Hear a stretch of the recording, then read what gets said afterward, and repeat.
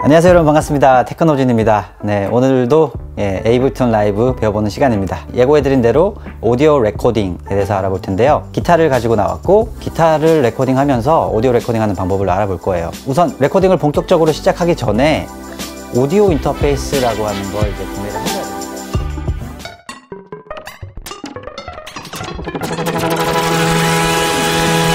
기타를 끼는 잭은 보통 이렇게 생겼죠. 예, 55 케이블 혹은 뭐 예, TS 케이블이라고 불리는 케이블인데 이걸 컴퓨터에 바로 갖다 낄 수가 없잖아요. 오디오 인터페이스에다가 이걸 끼고 오디오 인터페이스는 USB로 네, 컴퓨터로 연결돼서 그 오디오 신호가 컴퓨터로 전달이 되는 겁니다. 그래서 저는 지금 이 케이블을 한쪽에는 기타에 꼈고 한쪽은 오디오 인터페이스 Duet이라고 하는 오디오 인터페이스에 갖다 꼈어요. 그리고 오디오 인터페이스를 끼고 나면은 세팅이 필요합니다. 네, 우선 화면을 한번 같이 보실게요. 여기서 command 쉼표 누르시면은 Preferences가 나오고요. 혹은 Live Preferences를 누르셔도 돼요. 왼쪽 탭에서 오디오 쪽을 클릭합니다. 오디오 인터페이스를 선택할 수가 있어요. 여기서 저는 Duet이기 때문에 Duet으로 선택을 in out 다 선택을 해둔 상태입니다. 인풋 그리고 아웃풋을 configuration을 클릭해서 선택을 하실 수가 있는데요. 듀엣 같은 경우는 인풋이 두 개밖에 없기 때문에 인풋 수가 두 개, 그리고 얘네들은 다 체크가 돼 있어요. 근데 아웃풋 같은 경우는 네 개입니다. 네 개. 처음 사서 끼면 얘네들이 이렇게 비활성화 돼 있거든요. 클릭 클릭해서 활성화 시켜 주셔야 됩니다. 네, 그리고 가운데 있는 sample rate 저는 48로 기본적으로 세팅해 놓고 많이 쓰는데요. 고음질로 작업하시는 분들은 96으로도 작업을 많이 하시는 걸로 알고 있는데요.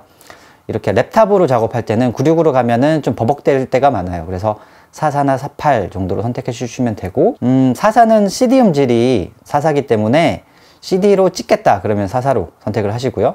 스트리밍 위주다 그러면 48로 하셔도 무방합니다. 그리고 영상 작업을 많이 하시는데 영상에다가 입히는 음악을 작업한다 그러면 48로 기본적으로 세팅을 해주시는 게 좋아요 이유에 대해서는 다른 컨텐츠를 통해서 예, 설명을 한번 드릴 예정이고요 네 high quality 건 체크해 두시는 게 좋을 것 같고 그리고 아래쪽에 latency latency 이 부분이 상당히 중요해요 네, latency가 뭐냐면 이제 얘를 딱 치고 나면은 이게 오디오 인터페이스로 소리가, 소리가 들어가고 이걸 디지털로 converting 해가지고 컴퓨터로 디지털로 보내거든요. 여기까지 이르는 시간이라고 생각하셔도 됩니다. 이 시간이 짧으면 짧을수록 치자마자 소리를 우리가 확인을 할 수가 있어요. 그 대신에 치고 빨리 얘가 처리를 하는 거잖아요. 그래서 컴퓨터는 좀 버거워합니다. 예, 이렇게 숫자가 낮을수록 버거워하고 숫자가 올라갈수록 치고 나면 조금 있다 소리가 저한테로 이제 전달이 돼요.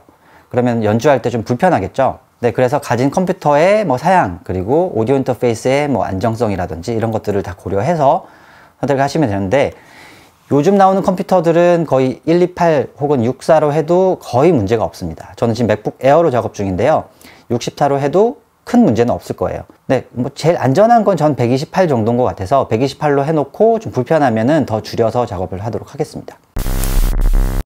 네, 요 정도 세팅을 하고 기타를 오디오 인터페이스 채널 1번에다 갖다 꼈어요. 치면 여기 1번이라고 되어 있는 쪽이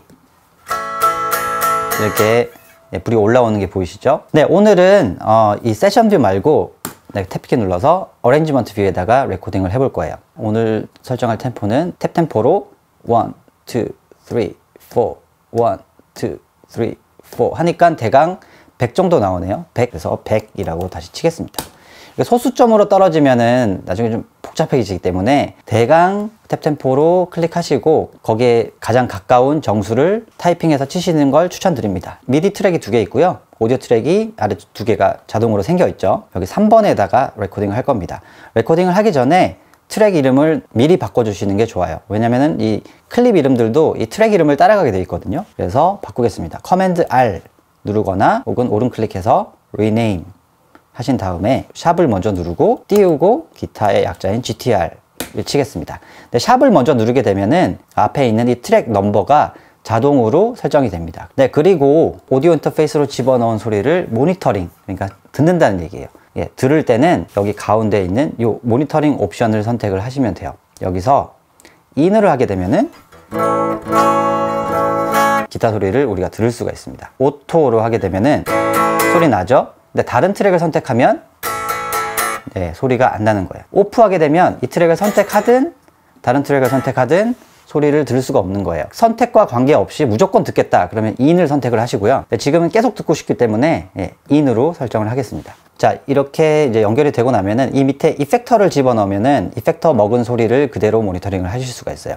자, 한번 effector를 넣어볼게요. 우선은 저는 튜너가 필요할 것 같아서 audio effect 쪽 가서 utility 간 다음에 이 튜너를 끌어서 가지고 오겠습니다. 그러면 이제 튜닝을 해볼게요. 어, 튜닝이 좀 조금 안 맞네. 네, 그리고 앰프 소리를 한번 집어넣어 볼게요. 네, 앰프라고 하는 Ableton Live에 기본적으로 포함된 캐비넷이라고 하는 놈이 있습니다. 캐비넷을 같이 연결해 볼게요. 캐비넷은 앰프 밑에 달려있는 스피커입니다. 그래서 기본적으로 기타를 치시는 분들은 앰프랑 캐비넷을 세트로 같이 가지고 오시는 게 좋아요. 네, 바로 소리가 좋은데요. 네, 좀 조절해서 톤을 바꿀 수도 있어요. 자, 이렇게 올린다거나 아니면 앰프를 바꾼다거나 네, 지금 저는 블루스로 해서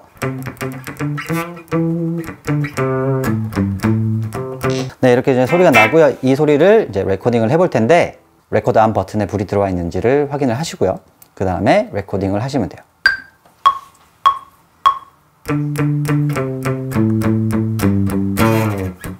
한번 들어볼게요. 스페이스바를 누르면 소리가 안 나죠? 안 나는 이유는 지금 이 트랙에서는 제가 치는 소리를 모니터링하고 있고요. 그리고 여기 있는 이 클립은 playing 되지 않은 네, in이라고 세팅되어 있기 때문입니다. 여기서 auto로 하거나 off를 하게 되면 은 네, 이제 들으실 수 있어요.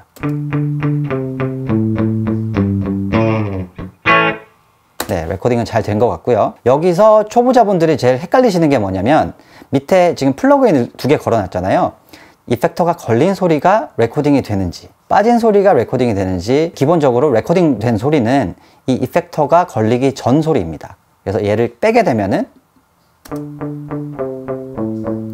생 기타 소리가 레코딩 되는 거예요. 생 소리에다가 이 플러그인이 걸렸기 때문에 앰프에다가 어, 기타를 낀 소리가 되는 거죠. 네, 레코딩이 끝났는데 지금 문제는 뭐냐면 100이라고 세팅해 놓은 이 BPM에 이 기타가 안 맞습니다.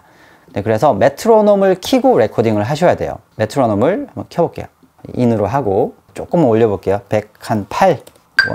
1, 2, 3, 4.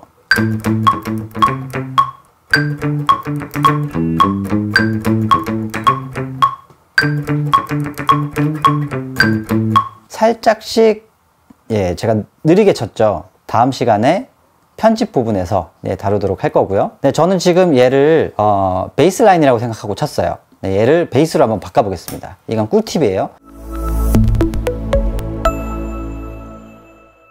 네, 여기 레코딩한 클립을 오른 클릭해서 Convert Melody to New MIDI Track 얘를 눌러볼게요. 그러면 짜잔 네, 아래쪽에 새로운 트랙이 하나 만들어지고요. 이렇게 미디로 찍혀 있는 게 확인이 되시죠? 얘를 솔로로 해놓고 들어볼게요.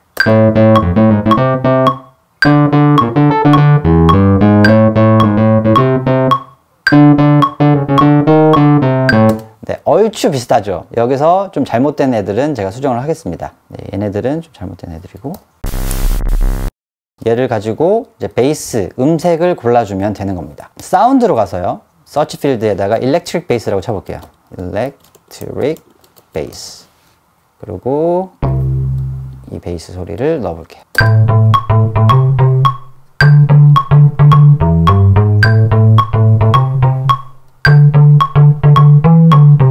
좋습니다. 모두 선택한 다음에 Shift 누른 상태에서 아래쪽 눌러서 한 옥타브씩 다 낮췄어요.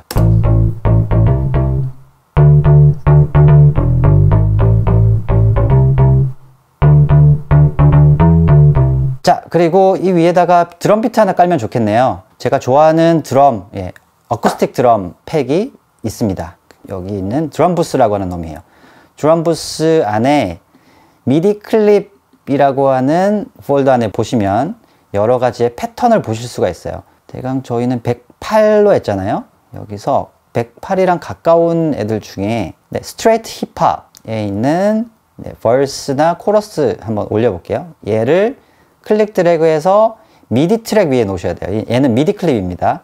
그래서 2번 위에 놔볼게요.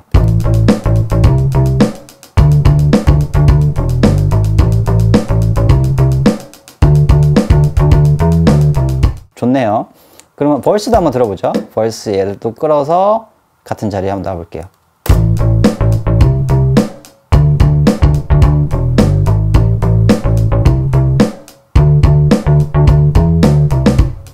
아, 네, 좋은 것 같아요. 저는 단순한 하이햇을 치는 verse가 좋은 것 같네요. 자, 그러면 지금 이 네 마디만 반복시켜서 들어보겠습니다. 쭉 네 마디가 선택되게 단축키 command L, command L을 해서 이렇게 loop 구간을 지정하면서 활성화 시킬 수가 있어요. 들어볼게요.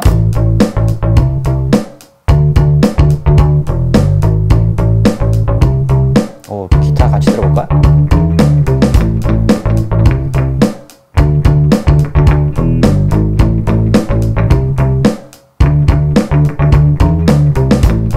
어, 좋다. 그 밑에 있는 5번 트랙, 5번 트랙에다가 기타를 레코딩 할 거예요. 여기도 역시 앰프랑 캐비넷을 놓겠습니다. 네, 끌어서 놓고 pitch modulation에서 코러스 앙상블을 한번 끌어서 가져가 볼게요. 네, 기타에는 코러스도 많이 걸거든요. 밑에 있는 기타랑 베이스 얘는 네 마디를 선택한 다음에 command D 눌러서 복제, 네, 복제라고 하죠. edit에서 요거, 요 놈입니다. 요 놈. 예, 요 놈을 선택을 하셔도 돼요. 그리고 여덟 마디를 다 선택한 다음에 command L 눌러서 여덟 마디가 반복되게 해서 쫙 긁는 기타 하나 레코딩 하겠습니다. 위쪽에 메트로놈 옆에 역삼각형 누르면은 count in을 설정을 하실 수가 있죠. 지금 좀 준비 시간이 필요할 것 같아서 두 마디로 해놓고 레코딩을 하겠습니다. one, two, 쓰리, 두 마디. 원, 투, 쓰리, 포.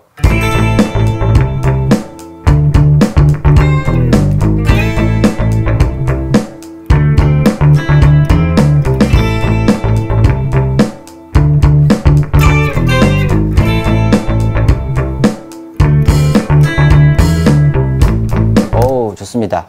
여기 트랙 이름. 커맨드 R 샵 띄우고 어, 기타 2 아까 오디오라고 이름 붙여져 있는 걸로 레코딩을 하다 보니까 클립 이름도 오디오로 나와서 좀 이렇게 보기가 싫죠. 정리가 안 된 모양이죠. 2번으로 수정을 하겠습니다. 그리고 저번 시간에도 알려드렸지만 command T 눌러서 오디오 트랙을 만들 수가 있고요. 혹은 위쪽에서 create insert audio track 하셔도 되죠. 기타 3번 3번. 네, 또 제가 좋아하는 짭짭이. 또 얘도 역시 앰프랑 캐비넷 집어넣을게요. 2, 3, 4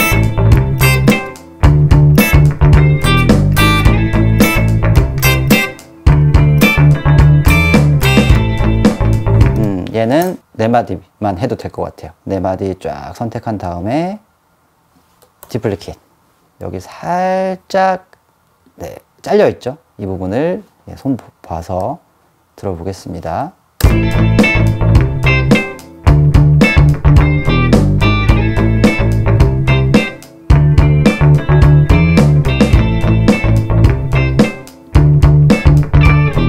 네, 여기에 약간 reverb 한번 걸어볼게요. reverb.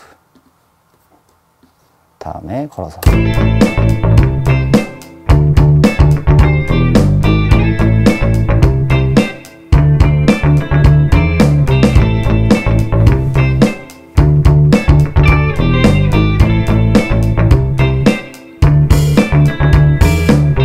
네, 이렇게 기타 레코딩으로 오디오 레코딩하는 방법을 알아봤는데요. 네, 오늘 또 재밌는 것도 같이 하나 했었죠. 오디오 레코딩 한 거의 피치를 MIDI로 바꾸는 기능. 사람 목소리로 해도 되게 좋아요. 예를 들어서 어, 난 악기를 잘 연주하지 못하는데 어, 멜로디는 떠오르는 게 있어. 그러면 미리 허밍으로 레코딩을 해놓는 거예요. dumdumdumdum 이렇게 이런 식으로 여기 convert melody to new MIDI track 하게 되면은 다른 악기로 내가 방금 부른 멜로디를 연주를 하게 돼요. 그래서 입 작곡가들 이 기능이 상당히 유용하니까 해보시면 좋을 것 같고요.